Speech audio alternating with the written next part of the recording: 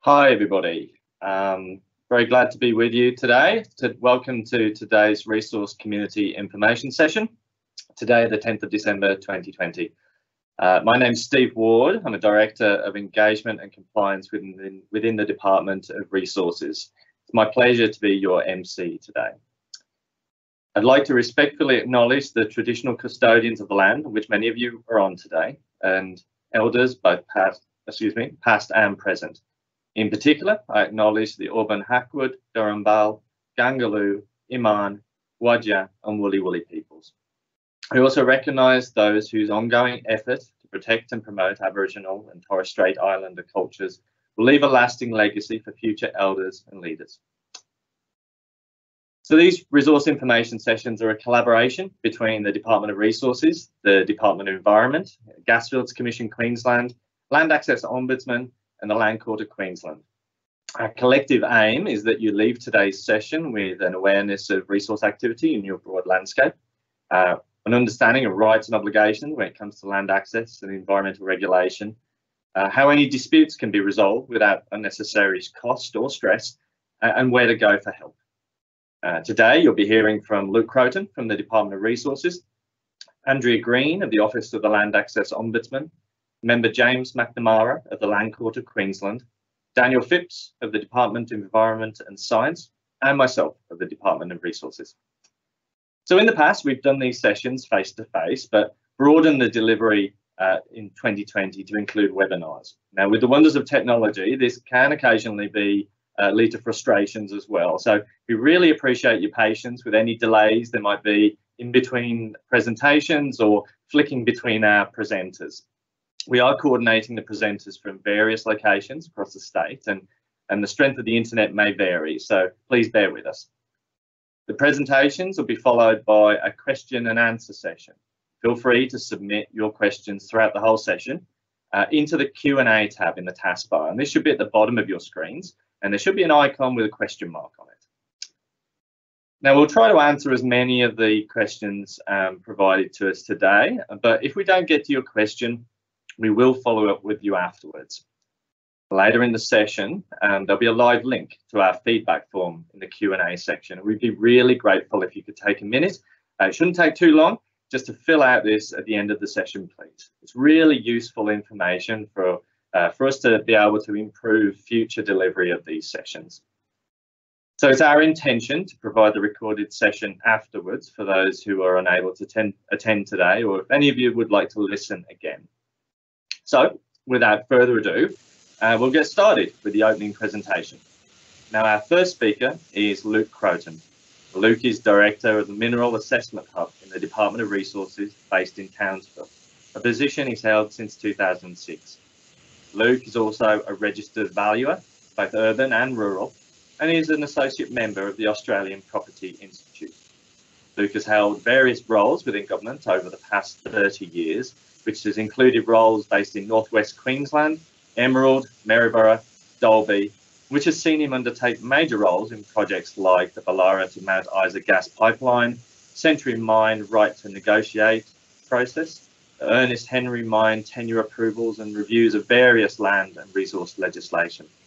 So without further without further ado, Luke, I hand over to you.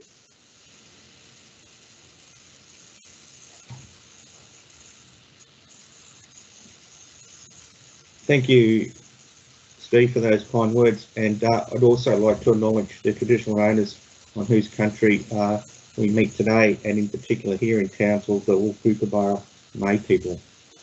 So uh, in the short time I've got, I will cover off a bit about the Wide Bay Mineral Region, talk a little bit about exploration trends over the last decade in the region, what tenures mean for the Wide Bay region as far as value, and finally a bit about the government support that has been provided to the region.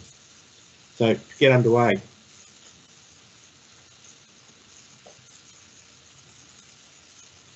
So the Wide Bay Burnett region hosts a wide range of mineralisation styles and deposits for epithermal gold, volcanic hosts, porphyry systems, intrusion related and various forms of nickel, cobalt and gold mineralisation. However, the main commodities currently being explored for in the region are things such as gold, copper, bauxite, kaolin, zinc, nickel, cobalt and silica sand. the next dot point, uh, for those who aren't geologists, really means that uh, for the Wide Bay Burnett region, most of the mineralisation is not stuff you find on the surface. The expressions, it actually requires quite a bit of investment from exploration and mining companies to go deeper and the underlying cover to find those deposits. And it's important to note that uh, the map, which I'll show you shortly, the southern boundary of the Wide Bay Burnett region abuts the southeast Queensland priority living area, where there is little to no exploration tenure. So next you'll see some maps, and they will cycle through uh, over the last 10 years to give you an indication of the coverage that has occurred. So the red indicates granted exploration tenures, and green are those areas that were under exploration at the time. Looking at the table there, you can see since 2010 uh, to 2012, there was an increase in exploration tenure. The periods between 2013 to 2019, there's a generally a decrease. The most promising thing is that over the last 12 months, there has been a significant increase of roughly of about 20% in coverage between exploration, application and granted tenure. It's important to note that uh, the life cycle of mining from exploration through to evaluation and production tenure generally takes roughly about from the time the initial application for an exploration permit is received to the grant of a production tenure is about 15 years.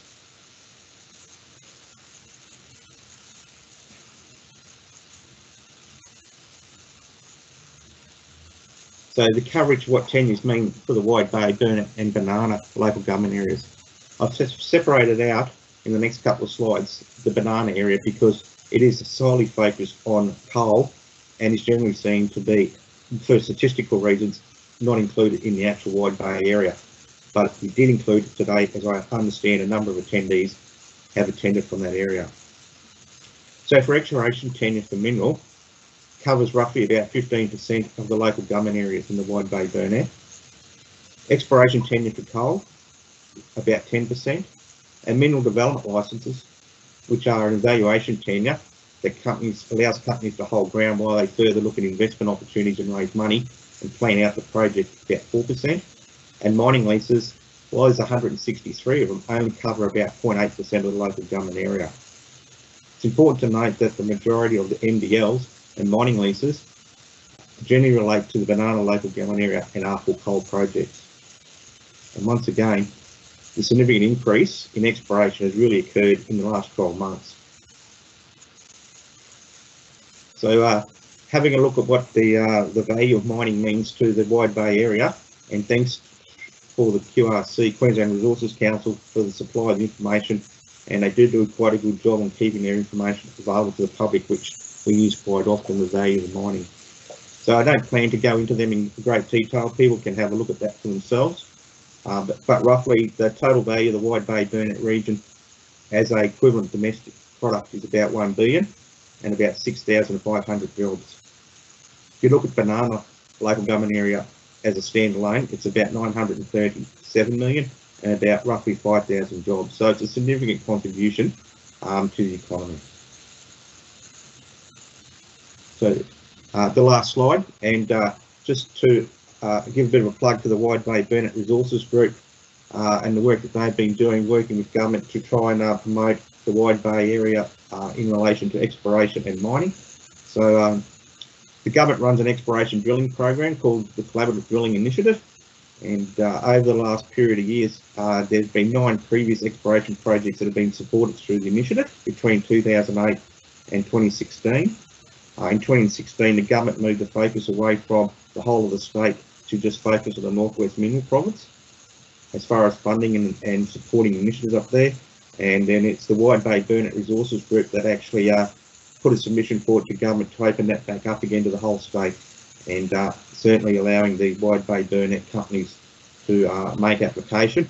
And over the last 12 months, you can see there's been a couple of uh, successful applications uh, where there's government's able to assist in funding those exploration programs because they are quite expensive. So that probably concludes the uh, my presentation, and uh, I thank everyone for their uh, patience, and uh, we'll hand back to Steve. Brilliant. Thank you very much, Luke. Uh, it was a great presentation, a great overview of the range of current activities uh, in the Wide Bay, Burnett and Banana areas. And we can see there's a wide range of those activities occurring in the landscape. Um, so look, the, the next presenter is actually me. Uh, to give you a bit of a picture of my background, I oversee teams focused on resource community engagement, inquiry and complaint management, and compliance across petroleum gas, uh, petroleum and gas, I should say, uh, minerals and coal sectors statewide, as well as fossicking. I've worked with state government in community engagement and compliance around resources for almost a decade, and much of that has been centred on land access in the petroleum and gas sector.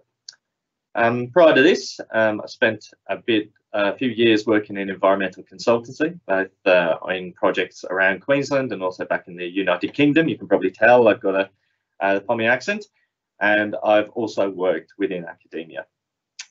So, without further ado, I will get going.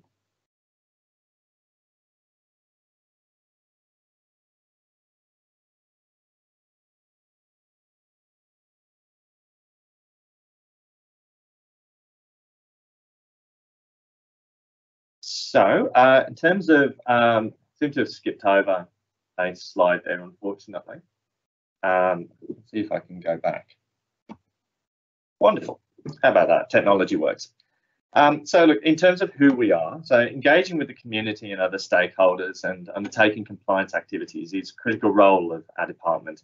We want to ensure that Queensland's resources are managed fairly and responsibly.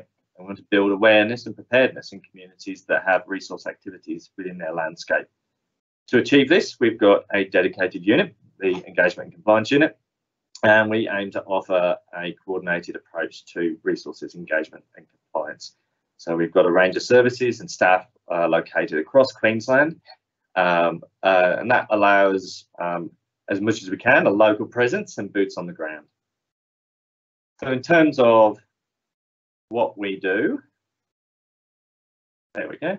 Um, so first of all, starting off with compliance. So we do work with industry to ensure that the resources sector has the support, guidance and information necessary to meet their statutory obligations. Also, that the resources sector continues to build upon its social licence to operate in resource impacted communities by maintaining that compliance.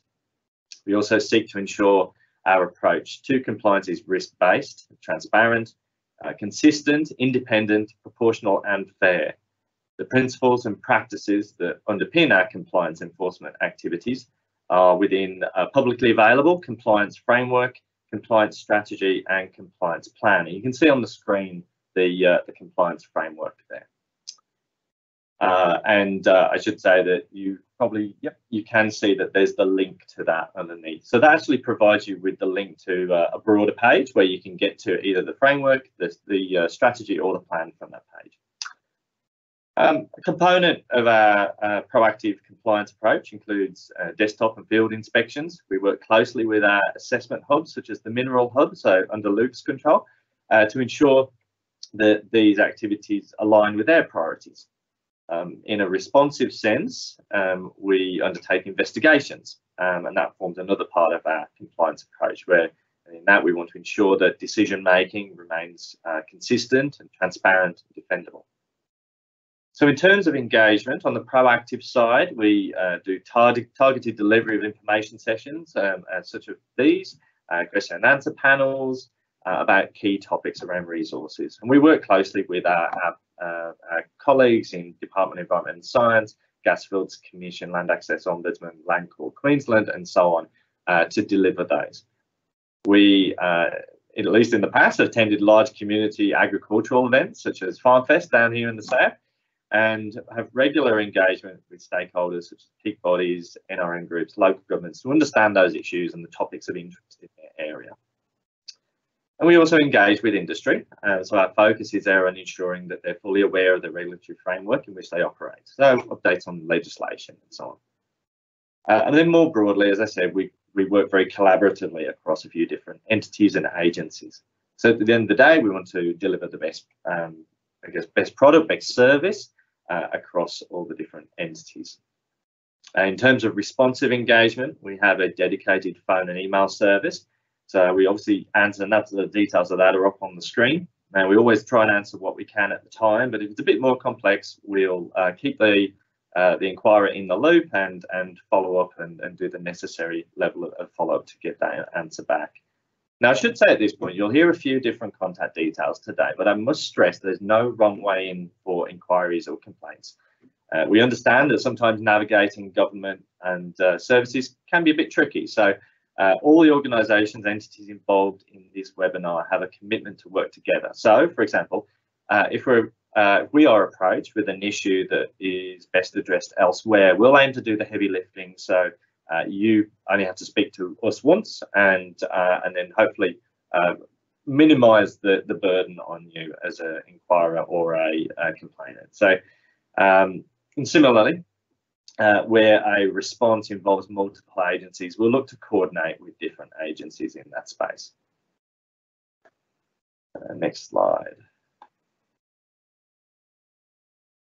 Okay, so a, a really quick whistle stop tour of the regulatory framework. So today our focus is around kind of minerals and coal, um, so particularly around exploration. So mineral and coal resources generally are owned by the state. However, uh, individuals and companies may apply to explore or extract those resources.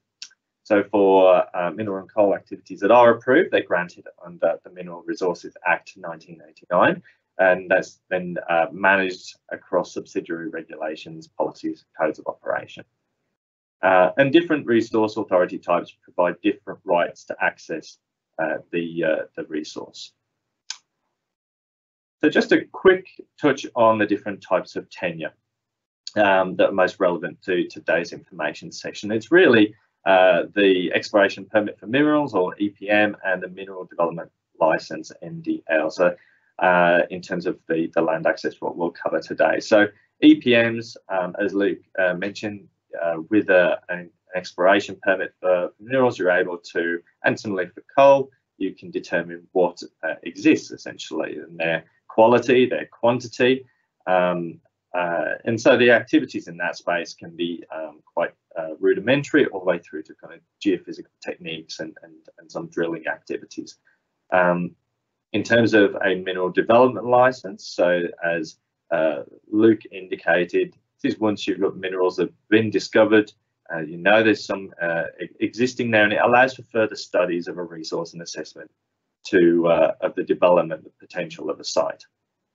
So it's generally granted where there's significant mineral deposits um, with pot potential um, possible economic potential. And finally, mining leases. So this allows them a miner to conduct larger scale mining operations. Uh, it allows machine mining and other activities related to mining, and it would operate under an environmental authority. So in terms of the land access framework, uh, for those exploration activities. So uh, Queensland land access laws establish different requirements and rights for landholders and resource companies, depending on the impact of the authorised activities uh, being conducted under the Resource Authority on the land which the activity is being carried out. So this framework, it falls under the Mineral and Energy Resources Common Provisions Act 2014. And the framework covers, um, as I mentioned, both exploration permits, mineral development licenses. So the framework doesn't cover, um, generally doesn't cover um, obligations related to mining claims, mining leases, which have different land access and compensation provisions set out under the Mineral Resources Act 1989. Uh, requirements for preliminary activities, so those activities with minor or, or no impact on the land use, uh, business activities, for example, survey pegging, uh, are different to advanced activities, for example, drilling a well. Um, authorised activities are not permitted to be undertaken on land where the resource authority does not apply. So only part of a property may be affected. Now, where they are affected by resource company activities, landholders are entitled to know what activities have been undertaken. They're entitled to provide feedback into processes associated with advanced activities to the extent that they relate to the landholder. Um, for example, conditions of access and infrastructure layout, and receive compensation for impacts associated with those activities. So, to facilitate this, the land access laws include a land access code, and I'll move on to that shortly. Um, entry requirements for preliminary activities, so those low impact activities, um, crossing or entering private land outside the resource authority.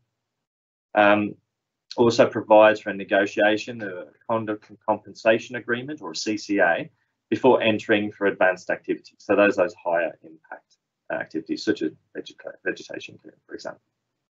So uh, there's also a statutory negotiation and dispute resolution process. And uh, also the, worth mentioning that the company cannot enter restricted land without uh, the consent of the landholder. And this is land where uh, there's a sealed boundary around it. Um, now, all of this is in a lot more detail within the guide to land access with And you can see that on the screen there. There's also the link below. Um, and this kind of outlines a lot of what I'm talking about here. So in terms of the land access code, um, it's a key component of the land access framework. Um, it contains best practice guidelines and, and mandatory conditions related to land access it's worth noting it's a condition of a resource authority to comply with the mandatory conditions of the Land Access Code. Now, these mandatory conditions address numerous issues, um, but you can see the list on the screen there, including reduction of persons, access points, roads, tracks. Um, I won't go through all of them, but you can see that it covers quite a lot of different things. Uh, just to touch on preliminary activities.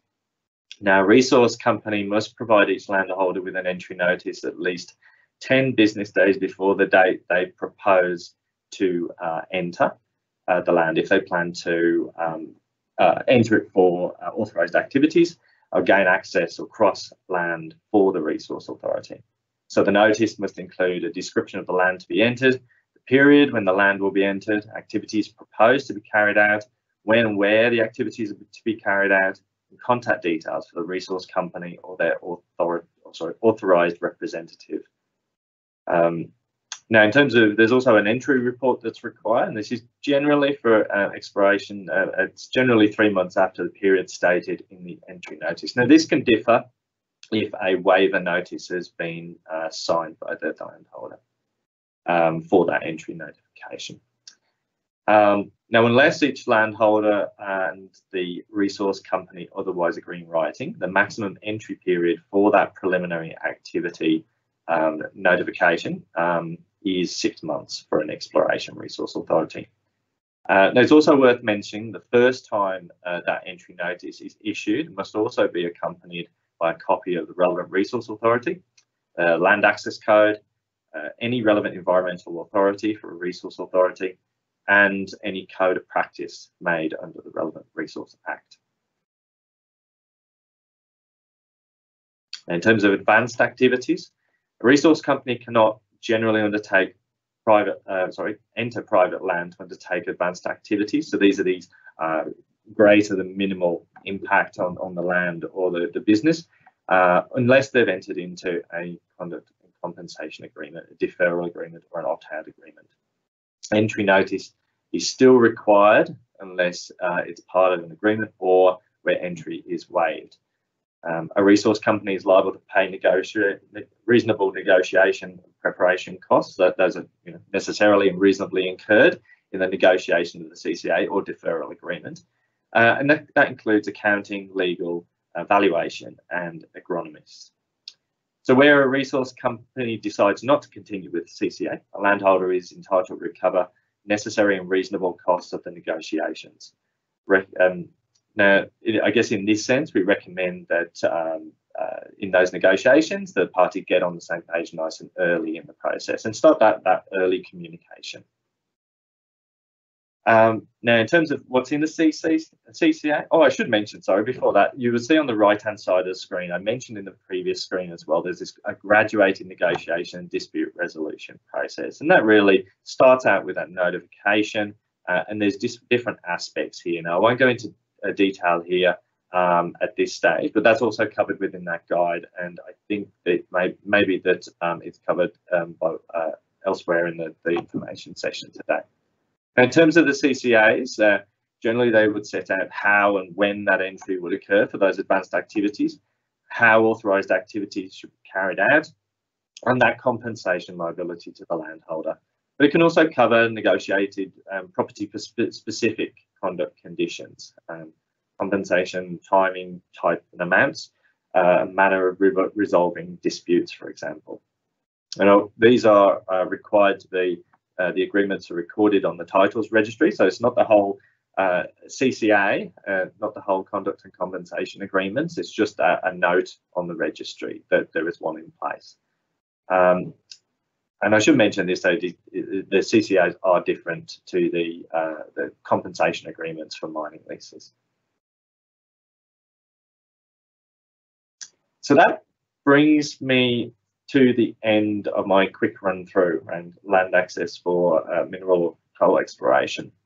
Uh, as mentioned, um, my unit has a, a, resource community info line, an email service for any inquiries, concerns or complaints in relation to resources. And I've uh, put these details up on the screen. So I will um, remove, I'm going to attempt to remove um, control. Right. Sorry about this. Technology is a wonder. Um, so thank you for bearing with me. So our next presenter is Andrea Green at the Office of Land Access Ombudsman. Uh, Andrea is a senior dispute resolution officer within that office. Um, she grew up in a small country town in New South Wales and, and so understands those challenges facing rural communities. Um, Andrea has 12 years experience in complaints management and dispute resolution, having previously worked in similar roles within the Queensland Ombudsman and the Energy and Water Ombudsman in Queensland. So today, Andrea is going to speak to us on the Office of the Land Access Ombudsman's role.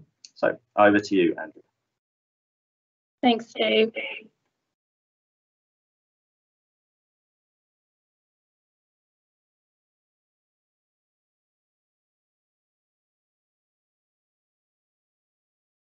Um, there we go. Um, so, um, yeah, thanks, Steve, for that. Um, so, yeah, uh, I am here to speak about what we do. Um, we exist primarily uh, to improve the quality of land access interactions between landholders uh, and resource holders in Queensland. Um, our primary role is to investigate disputes involving alleged breaches of conduct and compensation agreements and make good agreements. Um, in order to investigate, uh, there needs to be an existing uh, conduct and compensation agreement or make good agreement, agreement um, and a reasonable a belief that the other party is not complying with their obligations under the agreement.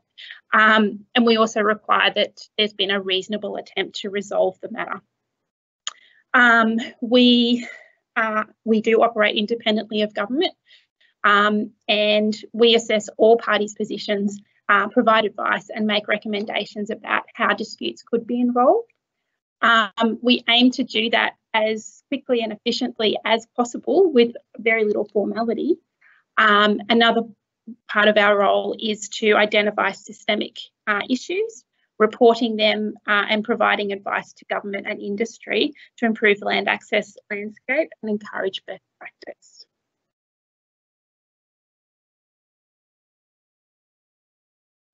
Oops.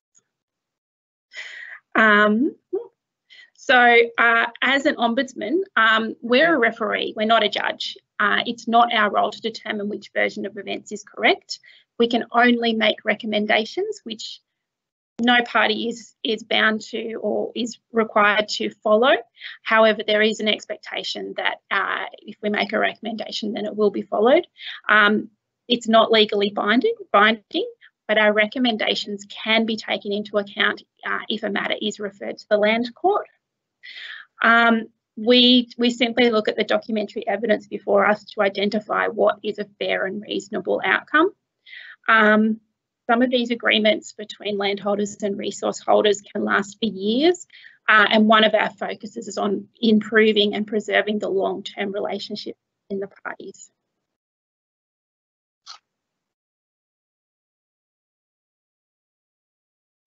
Um, this uh, is just a little map that we've put together. Um, when Jane became Land Access Ombudsman, she wanted something that was simple, that provided a very clear um, path or direction that people could take in the event that they uh, were experiencing issues in relation to land access. Um, and so this just gives people a little bit of a, a direction about uh, which agency, whether it's us, um, the Department of Resources, the Department of Environment, wherever it might be, that they can go to to get some, some assistance um, for whatever dispute they might have. Um, the benefits of coming to us is that we're free, fair and independent. As I said before, we're independent of government and we're not subject to direction by anybody. Uh, we try to resolve disputes as quickly and as informally as possible. We don't require that the dispute resolution clause has been uh, followed in the um, in the agreement first. Uh, we just require that there's been a reasonable attempt to resolve the issue. Uh, and because we are a free service, this can save parties time, money, and a lot of stress. Um, our process is relatively simple. Uh, when the initial dispute is referred to us, we find out as much information as we can to determine if we can in, uh, formally investigate the issue. Uh, that could include finding out what, if any, attempts have been made to resolve the dispute, um, including if it's been previously before the Land Court or investigated by another department. Uh, we can request further information from both parties and review the uh, either the conduct and compensation agreement or the make good agreement. If we do decide to investigate, our dispute resolution team will take reasonable steps to look into and help resolve the issue. That could include requesting even more information uh, from either party or both parties, um, and even potentially contacting other government departments for information.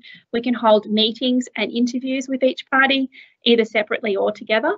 Um, we can undertake site visits uh, and inspections. We can provide alternative dispute resolution options. Uh, we can consult with entities and technical uh, ex experts for advice.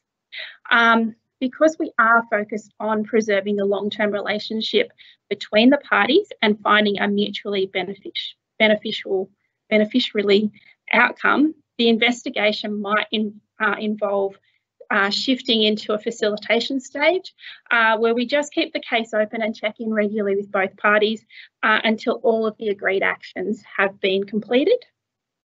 Once our investigation is complete, uh, we'll issue a draft notice of investigation uh, outcome to both parties uh, and invite them to respond. Um, we consider comments from both parties uh, before issuing the final notice of investigation outcome. Uh, if the dispute's been resolved as a result of our investigation, we'll include details of that resolution. If either party does not feel the, the, the matter is resolved, uh, the notice will include advice about the merits of each party's uh, position, uh, our recommendations, and reasons for the advice and recommendations.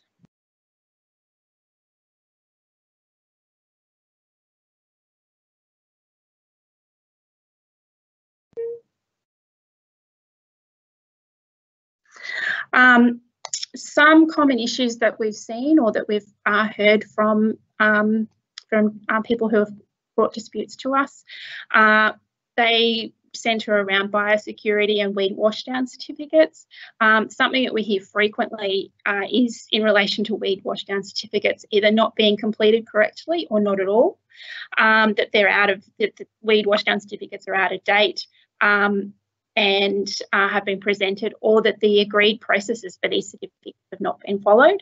Um, damage and disrespect to property is also another big one we've, we've seen. Uh, we've heard about fences being cut without the landholder's consent, rocks, fence posts and other items being left on property uh, to cause a hazard for landholders, rubbish and other matter being uh, left in paddocks, gates not being left in the appropriate um, state, um, landholders locking the gate on resource companies uh, as a way of trying to force them into complying with, uh, you know, what what practices they would like them to undertake. Um, so um, the parties' relationship breaking down to such a point uh, that they're no longer communicating or communicating solely through lawyers, uh, contractors and other and other um, staff not receiving contact of, sorry not receiving a copy of the relevant CCA or MGA uh, and not understanding the requirements of the property uh, and a failure to set uh, reasonable expectations or a misalignment of the understanding of the clauses in the CCA or the MGA.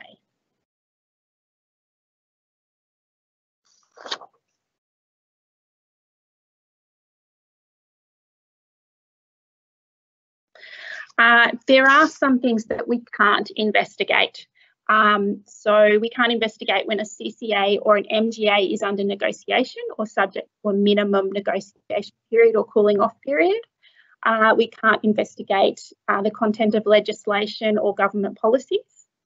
Uh, decisions made by, cab by cabinet, a minister or chief executive of a government department, uh, a matter that is or has been the subject of a court proceeding or arbitration, uh, a matter that is or has been the subject of an investigation by a government department, uh, compensation agreements for mining leases and mining claims under the Mineral Resources Act, uh, access agreements and matters outside of Queensland. Um, so a dispute can be lodged, lodged with us through our online form uh, by filling in one of our dispute forms, which is also available on our website, uh, by sending us um, a letter or an email um, or free call to our 1800 number during business hours. Um, and so more information about us can be found on our website, um, www.lao.org.au. Uh, you can also put your name on the list to receive uh, these slides and future updates that we might have. Um, and we're also available to come to your team to present um, if you would like us to um, about our jurisdiction and answer any questions you might have. Uh, that concludes our presentation. So I'll hand back to Steve. Thank you. Wonderful. Thanks very much, Andrea. Um, that was a very informative presentation uh, on the role of the Ombudsman uh, and that they play in, in assisting with dispute resolution for existing agreements are really great. Thank you. Um, look, just as a, a quick reminder, um, please feel free to submit your questions in the Q&A panel, and uh, and also a reminder again that we'll uh, we'll be posting the link to the electronic feedback survey at the end of the Q&A session. So please uh, feel free to uh, fill that in. We, would really appreciate it. Uh, so on to our next speaker. So we're very pleased to have with us today our next speaker, member James McNamara of the Land Court of Queensland. Member McNamara has built a distinguished legal career and also served as a senior public servant. Member McNamara has served as a member of the Native uh, Title Tribunal since 2014 and previously held the position of Assistant Director General uh, of Queensland's former Department of Natural Resources and Mines. Member McNamara was appointed as a new member of the Land Court in February 2020, and from these and other experiences, Member McNamara has acquired strong expertise in land management and administration, environment and resources, as well as native title and cultural heritage. So without further ado, I hand over to you, Member McNamara.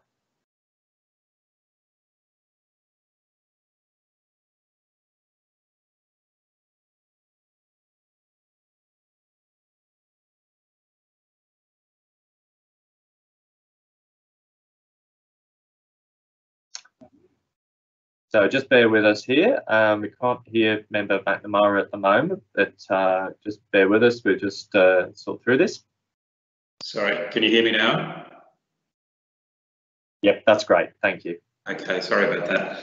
Um, sorry, what I was saying was uh, um, uh, I appreciate that some people from some of the earlier comments uh, on the meeting chat might not have access to the uh, video screen, so they may not be able to see the slides. So I'll do my best to, uh, to paint a picture. Um, briefly, I'll talk about the role of the Land Court and how you can use and access um, the Land Court. Uh, very briefly, we are, uh, in the scheme of things, a pretty small organisation. We're made up of the President and three members. We're based here in uh, Brisbane. Uh, we have a judicial registrar and we have a registry and staff.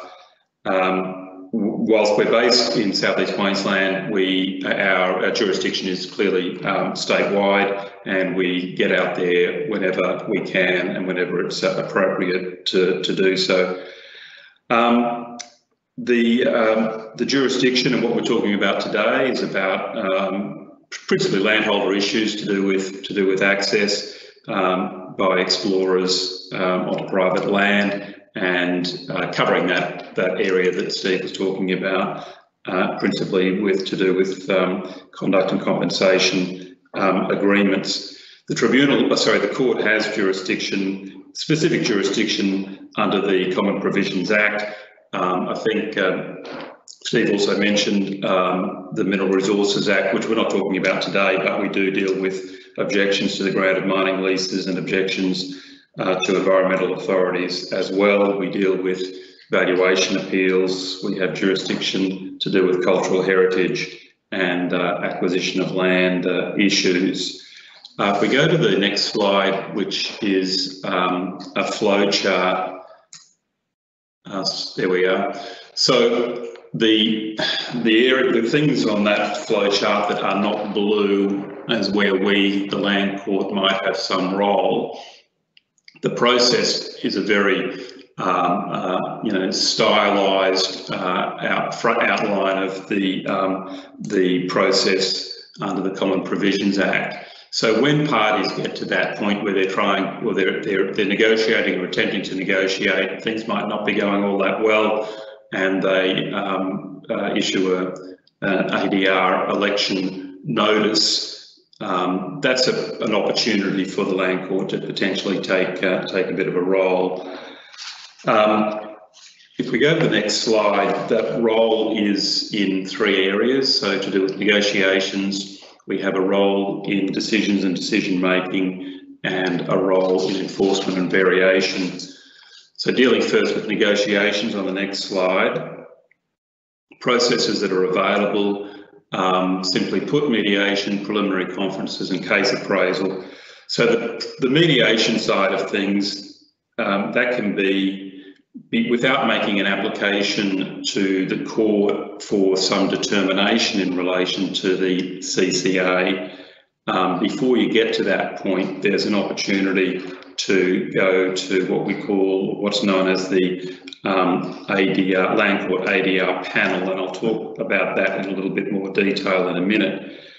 If parties are, have made an application to the Land Court to try and resolve things to do with the CCA, um, parties can ask the court to direct mediation and uh, that request would be looked at clearly in a, or usually in a, in a positive way, anything that might uh, go towards resolving a matter rather than litigating it is something we'd certainly support and certainly advocate. The second point is about preliminary conference, and that's in that situation where parties have, got, have brought a matter to the land court to see if it can be resolved and uh, before getting um, too far down the track, um, we, we, we ask the parties to participate in a preliminary conference, and that's usually conducted by our judicial registrar, and uh, or it can be just um, conducted by another member. And the objective is really to have a bit of a discussion. It's not a hearing, but just to see where the opportunities might be to uh, to see a matter resolved naturally we have you know Chinese walls between the member who might be conducting that that type of preliminary conference and the member who might ultimately have to hear and determine uh, issues that are in dispute.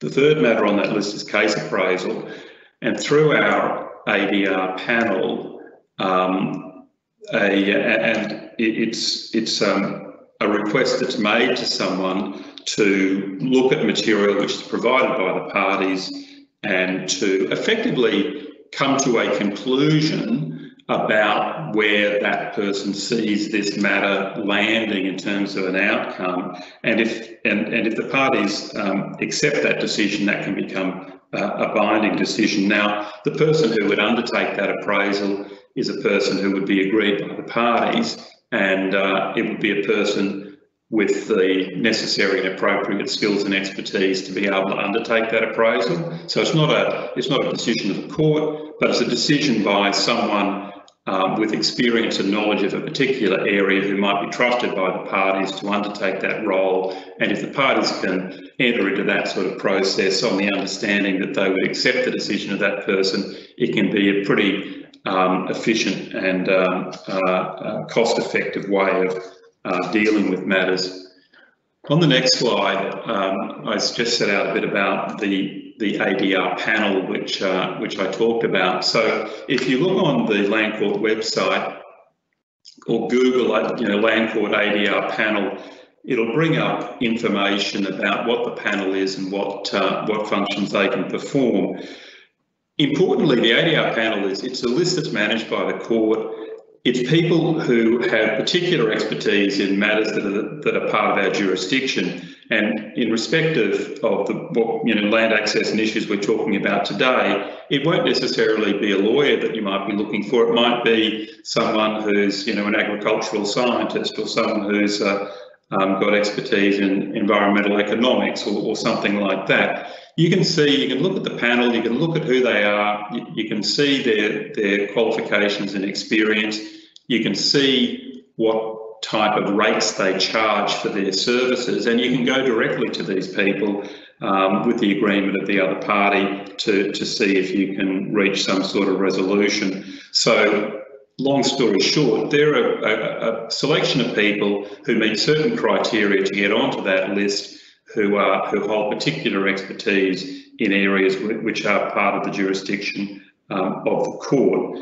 And that panel can offer those mediation services and case appraisal services, whether or not you've brought an application to the land court. You can go to that list anytime and, and access um, those people. It's a fee for service, but um, from my experience, it's um, it's a it's a the fees are, and you know, I suppose people can judge it for themselves, but I, in my view, they're pretty reasonable. The next slide talks about the nature of decisions that the, the tribunal make, sorry, the court makes, and these are when, when applications are made. So if parties are having a bit of a, bit of a a blue over what ADR process to follow and how to go about it. An application can be brought to the court to, to help resolve that. Um, if parties are unable to resolve their conduct and compensation agreement, an application can be brought to the court and a hearing conducted to to attempt to resolve, sorry, to well, not an attempt to resolve, to make a decision about those particular issues. Often it'll be compensation, will be the first first issue dealt with and sometimes the rest of the conditions then fall into place, but, uh, but not necessarily.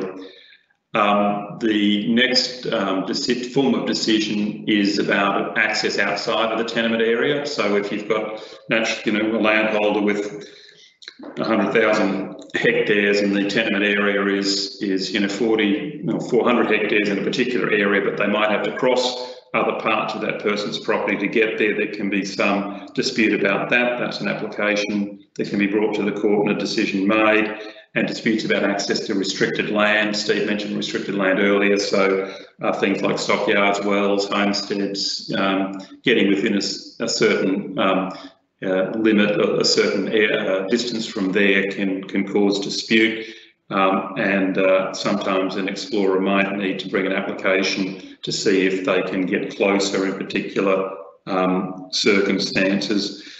Um, the next slide is about the enforcement and variation role that we have. So um, if we've decided matters about compensation, sometimes um, uh, there'll be issues to do with enforcement or variation of conditions because circumstances might have changed in the course of exploration activity. Um, parties can't agree about um, the particular form of the um, uh, agreement and how it might need to be um, amended, or in their view, it might need to be amended. Uh, that's something that can be the subject of an application to the court, and, uh, and we can uh, um, uh, either conduct an inquiry to, to resolve it, or um, again, you know, something that might be the subject of ADR that can help resolve that sort of issue. And the final one on that list is about the breach. Uh, a breach of the conduct and compensation agreement can be brought to the court as well. Um, the other half of the um, the discussion was about uh, using the land court. Uh, the next slide um, identifies what um, is in our Act about the way we operate, which is in, in an accessible, fair, just, economical and expeditious way. So unlike a lot of other courts that are um, uh, uh, must strictly uh, apply, for example, um, the rules of evidence um, the land court operates in a far uh, less formal way than those courts. The first dot point talks about the procedural assistance service, and I highly recommend um, again that uh, anyone interested look at, at that. Uh, Google it, it's very easy to get to from our website, but if not, just Google Procedural Assistance Service Land Court and it'll get you there. Lots of drop down menus answering just about any question that you might have about um, what the court does and how you might go about engaging with the court. Um, so it'll have all the forms there that would need to be filled out, but also some guidance and instructions about how to how to use those. Where it says they formulate claims, well, it's not a case of writing out the application for a particular party, but it's helping guide the parties as to how they might fill in certain uh, aspects of the applications. Um, the procedural assistance service does allow parties to uh, email the court and, and make an appointment to speak to someone about these things too. So you're not just left to try and work it out. If you're having some difficulty with that, you can actually uh, make an appointment and uh, someone from the registry will speak to you and, and help you uh, through the process. The, um, so all of those things on that list there about preparing evidence, witness statements and so on, there are references to, those, to what might be involved in that and how to go about it um, on that procedural assistance um, page uh, on our website. Uh, when we do actually conduct hearings, um, uh, as, as, as, as best we can, we like to do them in the area where the particular uh, matter uh, or issue arises and uh, we'll usually try and start with a site inspection to help us get a, a clearer picture of, uh, of what um, the issues are and that helps guide us in, in reaching our um, decision. The next slide really just um, is a bit of advice about parties um, to, you know, any party uh, involved in any of these matters to how they how they might think about the way they approach these matters. Um, stay informed, stay involved. So don't just hand over the reins to to someone else to, to run these things for you. Keep informed and keep control um, of the process is advice that we uh, we tend to give. Um, and uh, just remember, um, if you look at the next slide, uh, when it comes to people who are um, representing a party in a particular matter, it's your matter, you're instructing them, they're not instructing you. You can break down the services that are um, that are being provided so that uh, you might have a, a legal advisor assisting in, in one aspect but not all aspects, or a tenure administration service in some aspects, aspects but not all aspects. It's a matter for you. You look at the the instructions, you know, uh, that you're giving, making sure that they're clear, knowing that the person who's acting for you is appropriately skilled and has um, the, uh, the the right um, uh, in, has your interests at heart, uh, holds the appropriate insurance, and um, uh, there, because of the implications that that might have uh, for things such as costs.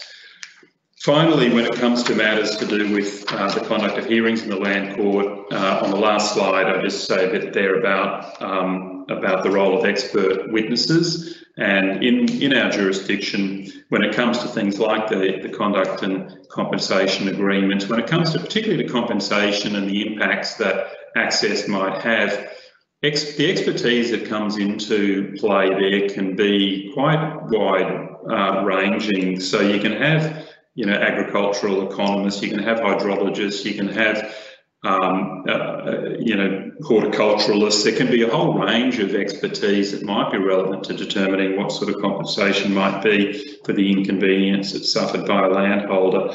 Those people are experts. Their duties to the court. So they're not, whilst they might be engaged by one party, their obligation as an expert and to have that very um, specific um, uh, uh, um, you know, um, level of, of um, significance given to their evidence. Um, their expertise is to the court, and uh, so they they're, they're, impartial when it when it comes comes to a, a hearing.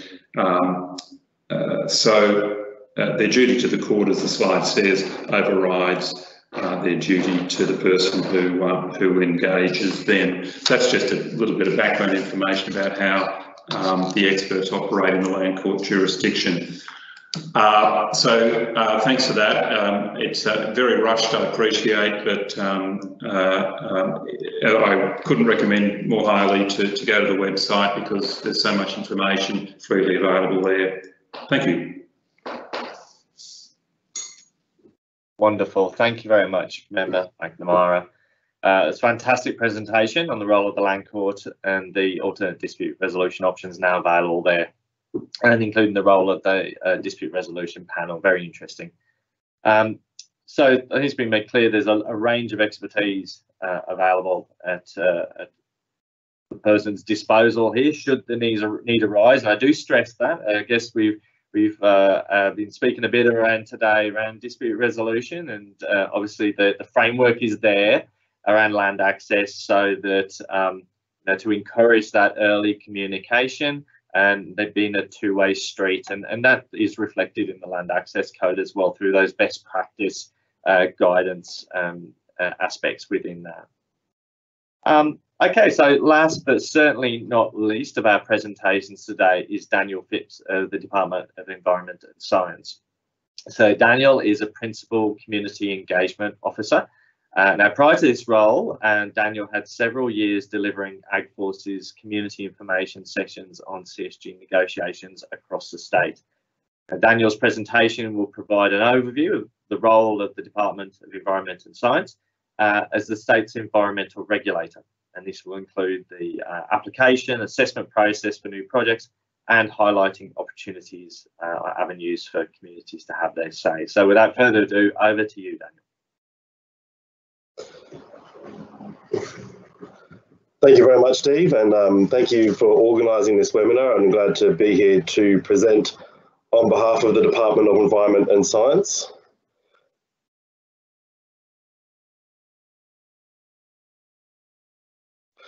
So as the Department of Environment and Science, or DES, we have responsibilities across a broad range of portfolio, including the environment, science, uh, and the Great Barrier Reef. And we are Queensland's environmental regulator, and as such, we work very closely with other agencies involved in regulating the resources industry, including the Department of Resources, to monitor, manage, uh, and assess the impacts of the industry on the environment.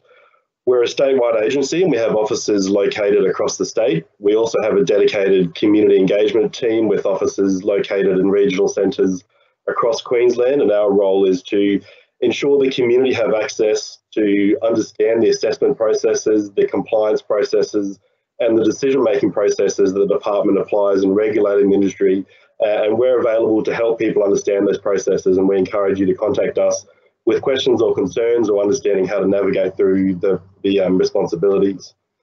Um, in terms of the role that DES plays in regulating the industry, I just want to touch briefly on some of the stuff that we will do, but I mainly want to talk a lot about the assessment process and the opportunities for community and stakeholders to have a say and influence the decisions that we make as a regulator.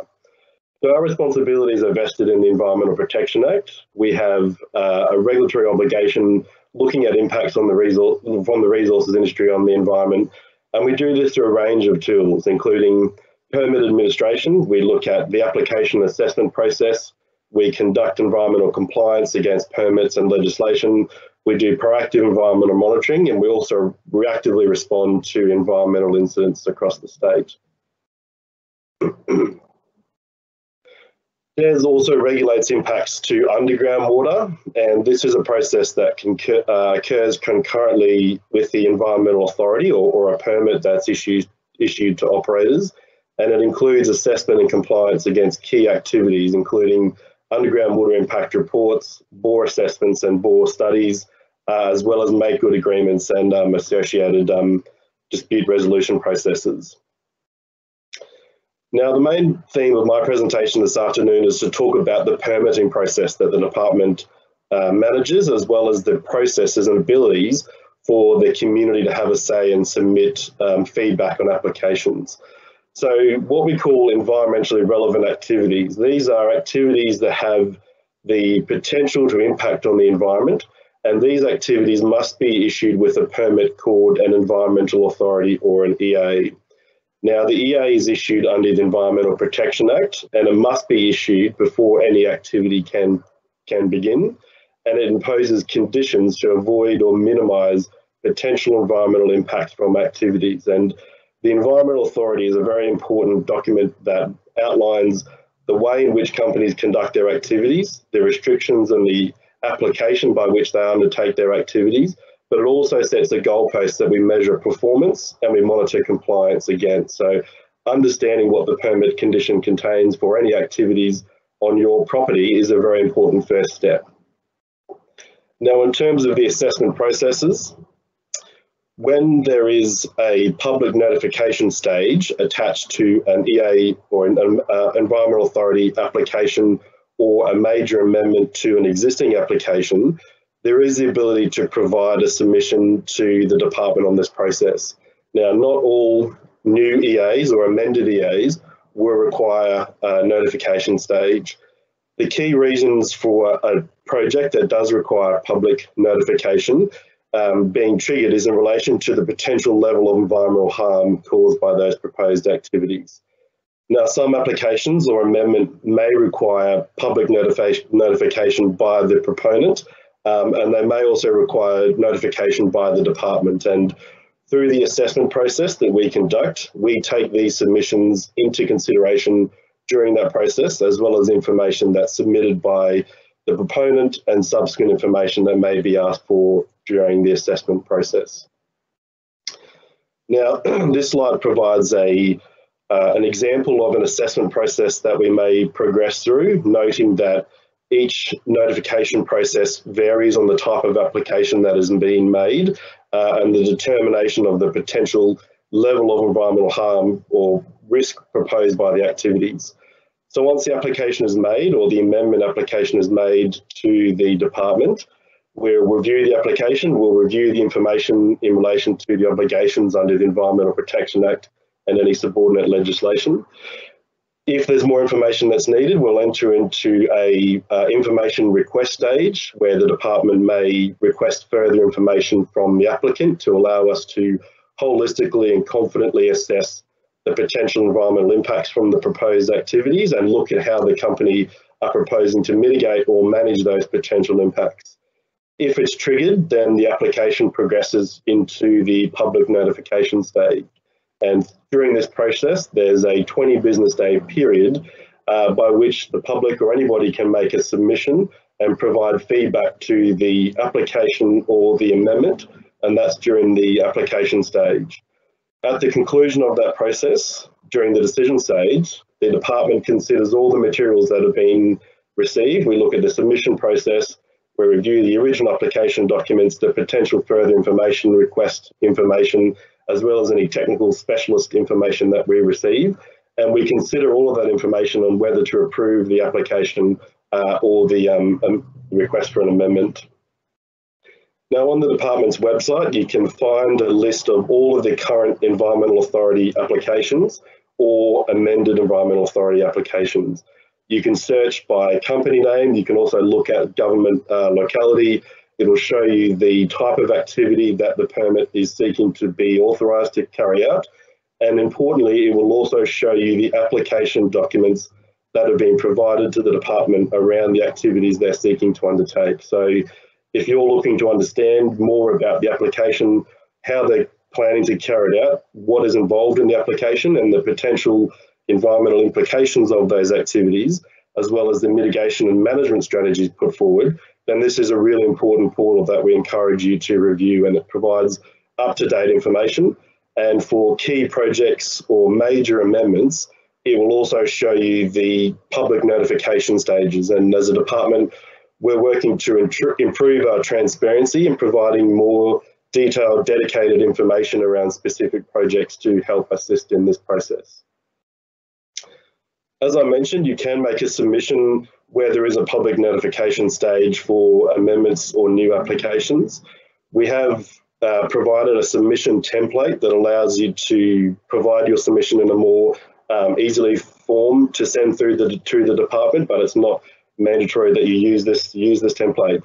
Submissions can be sent to us by mail or by email, and we have various dedicated teams within the department that are available to assist you navigate through the submission process, to understand the details of what's been applied for, the potential environmental impacts, uh, as well as work through the assessment processes as a department that we that we follow. One of the other useful tools that we have on our website is the uh, Department Public Register. Now, this includes information about all the environmental authorities, whether they're current or under amendment or application. It also includes all of the plans of operations for activities being conducted in the space. It also includes all the supporting and subsequent um, application documents for environmental authorities that have been applied for, approved, or under, um, under assessment. Uh, and it also provides information provided to DES uh, that is required by the conditions of the environmental authority and also lists information about enforcement actions that we're launching as a department in relation to non-compliances either with an EA condition uh, or with broader environmental legislation in, in Queensland. Now, the Queensland Government is committed to giving the community greater access to information, and the way we're trying to do this is by using the right to information services that are available. So, any information that is not available on our public register, you can view the right to information services portal on our website to understand about this process. There's also a dedicated team within the department that can help you understand um, how this process works, the restrictions, the process, and the costs involved, uh, and can help you look at options to gather information that may not be available through the public register.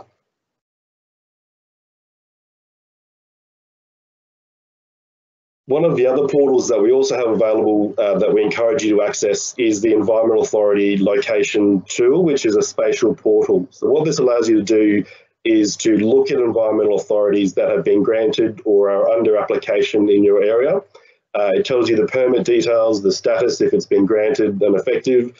It tells you the primary company that's holding to it. Uh, it tells you the type of environmental authority that they have been applied for. And it also allows you to link to download the environmental authority um, application or environmental authority details. And it's a really important tool that you can use to look at activities in your area that you can then link to our EA portal to download more information around a specific project. Or if you're looking for opportunities for submission, it's also a good place to start. One of the other supporting tools that we encourage you to look at is on the Queensland Globe. Now it has a whole lot of information in relation to the, the resources industry in Queensland. It's a great tool that allows you to look spatially around the type of tenures or permits that have been approved or under application or in consideration in your area. It tells you the type of resources that they may be looking for, if, it's a coal permit or if it's a mineral exploration permit or a gas permit. Um, it'll highlight areas in terms of expansion into production tenures. It'll provide information around when the tenure was granted, when it expires, and the company that holds it, uh, as well as providing links to the associated environmental authority that attaches to that tenure, which provides, again, the guidance of how they carry out their activities, the permit conditions, and the environmental monitoring that's required and what we monitor compliance for as a department. In terms of contacting our team, we have a dedicated assessment team within DES that can be contacted on the details above. They can provide any information in relation to the assessment process. If you'd like to talk about um, an amendment or a new application that's been made to the department, this is how you access information. We also have a dedicated pollution hotline reporting service by which you can report environmental incidences to the department 24 hours a day, seven days a week. And we really encourage the community to be involved in the process as it provides us with valuable environmental intelligence that allows us to action on environmental incidents as soon as possible. And there's also an online form that you can also lodge um, odour reports or nuisance reports if it's a particular source of dust or odour or light.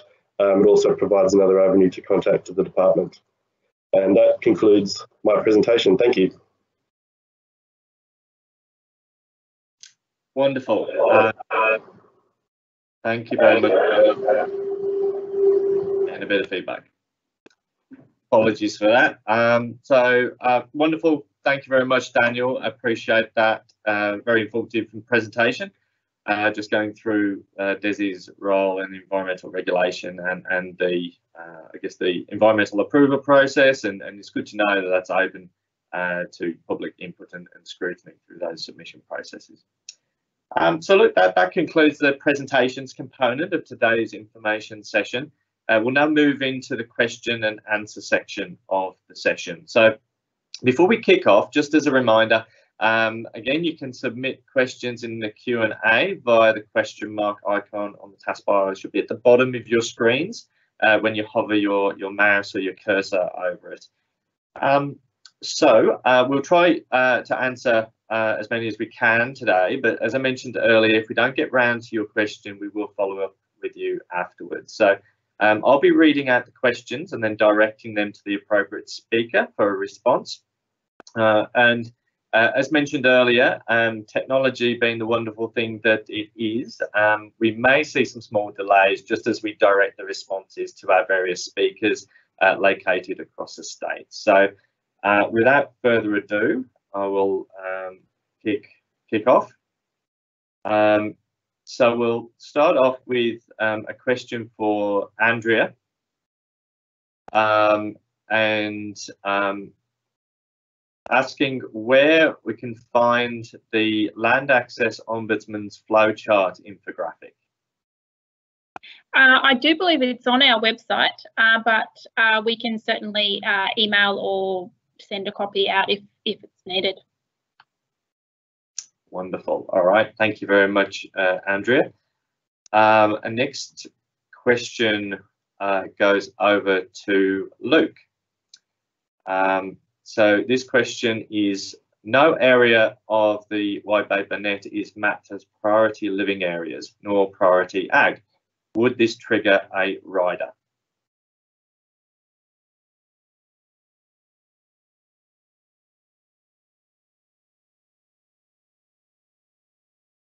Uh, I think you were just on, on mute there, Luke. Sorry, I was just um, confirming my understanding of a RIDA is a regional infrastructure development approval. So, uh, in particular, priority living areas and uh, priority ag land are mapping layers from um, that are put on the system. So, I'm probably fairly familiar with the Gympie one at the moment because we're dealing with some matters around there. So, if you have a look at MyMinesOnline mapping system, it shows up as a restricted land. And if you delve further detailed into that, it will show it as a urban uh, living area. And uh, that restricted area prohibits applications at this point while that regional development plan is currently underway for the Wide Bay Burnett. Thank you, Steve. Sweet. After all that, I put myself on mute. How about that? Um, thank you very much, Luke. Um, and if we don't mind, we might stay um, with you uh, for another one here um, I can see. Um, so it says here, for Luke, exploration permits were granted around Biggenden in September.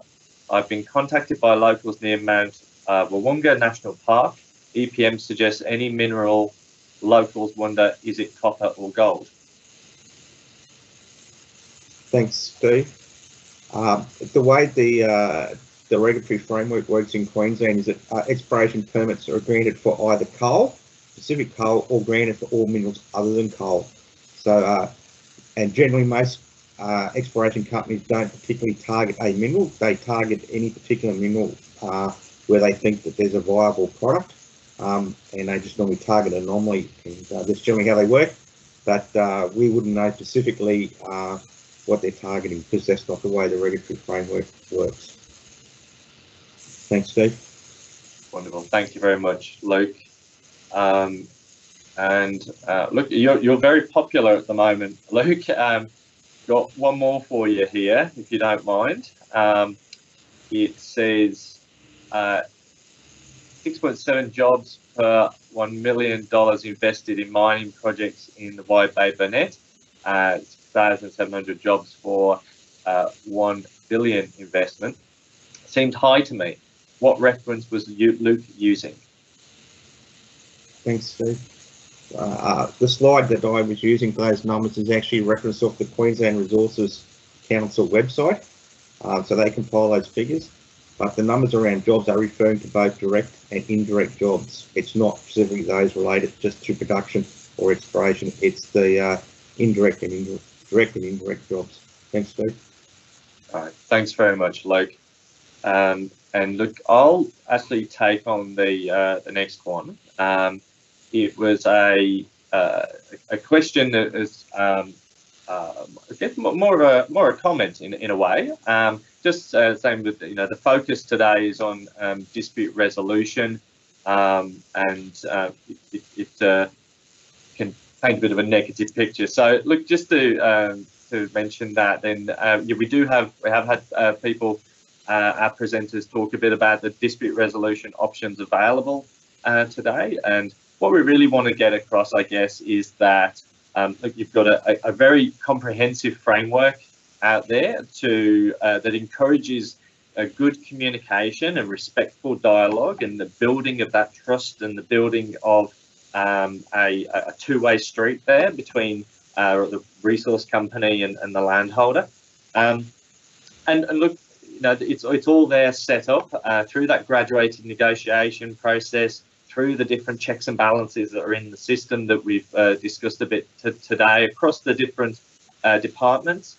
Um, it's all there to, to, to, help that along. However, um, just on, on small occasions, um, sometimes things, things don't go as planned. And so uh, one of the real things we wanted to get across today is in those situations, those that sometimes can be quite challenging situations, that there are these options available, that there is this support available, um, whether you're a, a, landholder or, or a company, um, that they, that exists there to uh, to support the the, the parties um, and uh, and hopefully get a, a mutually beneficial outcome. Um, right, I'll I'll have a look for uh, another one. Um, so uh, one for Daniel. Um, the question is, uh, is it possible to get a historical search of environmental authorities? For example, uh, what uh, the EA was, the Environmental Authority was three years ago versus now? Yeah, thanks, Steve. Um, look, we, we certainly do keep a record of all of the amendments that have been made to an EA, and we do keep a record of changes in terms of applications. So, uh, whilst it may not be available on the Environmental Authority register, which has current and applied for EAs, you can certainly contact the PALM team, which is the um, the email address at the end of my presentation, and they'll be able to answer that question for you. Wonderful. Okay, thank you very much. Um, so I will um, answer uh, another question here. Uh, the question is, I'll have to expand it. Um, uh, when will the government be seriously reviewing the RPI Act um, so uh, to actively protect prime agricultural land and water supplies? Now, look, um, it's, it's, it's outside my remit to answer that, so I'm afraid I can't. Uh, uh, I, I, what I should explain with that is uh, it's, it's a different area of, of government, so my uh, knowledge of it is not detailed. However, um, what I can say is at the moment, um, the Gasfields Commission Queensland undertaking a, a, review of the assessment process as it relates to uh, gas. And obviously the focus of today is, is not that, but there is that review um, going ahead um, at the moment, and that came out of a recent um, earlier in this this calendar year, uh, Queensland um, Audit Office um, review of the uh, regulatory framework and and the management of, of coal seam gas activities. So so that's a, a positive thing. Um, I will look through some more questions.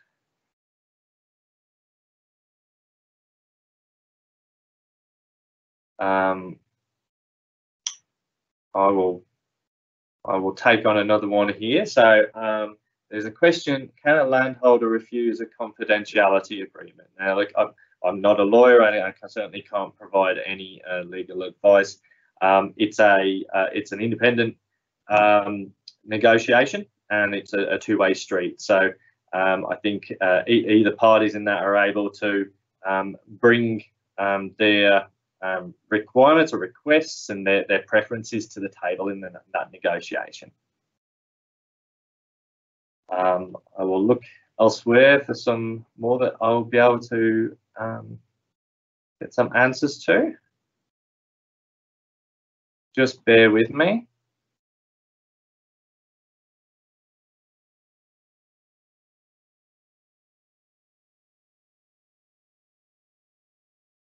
So I can't see any further ones at this point. Um, please, please send through um, your questions. We'd very much like to um, answer them.